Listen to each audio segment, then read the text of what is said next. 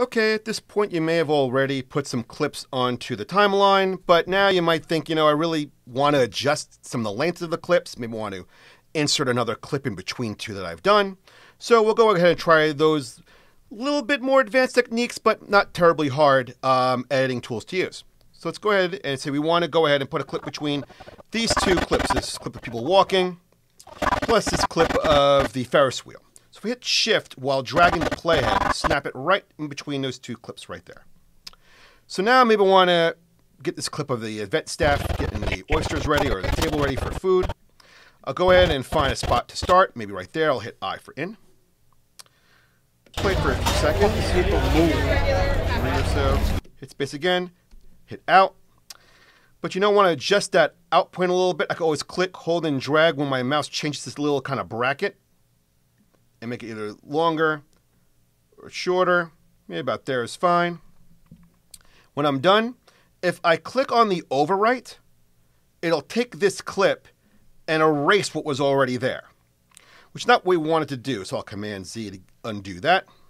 I want to do the insert, which is right there, where you can see by a little graphic there, it'll push the next clip further out so this clip can go on inside.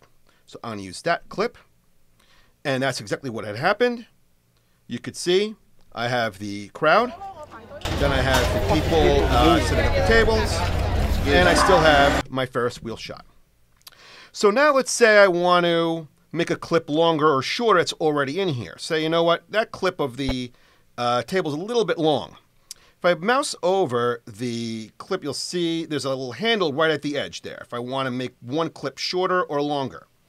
If I just click and drag this way, it's giving the new duration in the bottom right. Do you see that there? And it made it a little bit shorter, but also created a little bit of a space. If I right click inside there, I click Ripple Delete, and now that kind of snaps together, and my clip's a little bit shorter.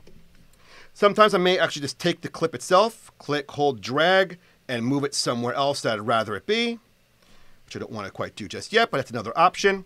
Sometimes you want to just do what's called a rolling edit or a ripple edit where you make one clip shorter but not affect the one that's afterwards.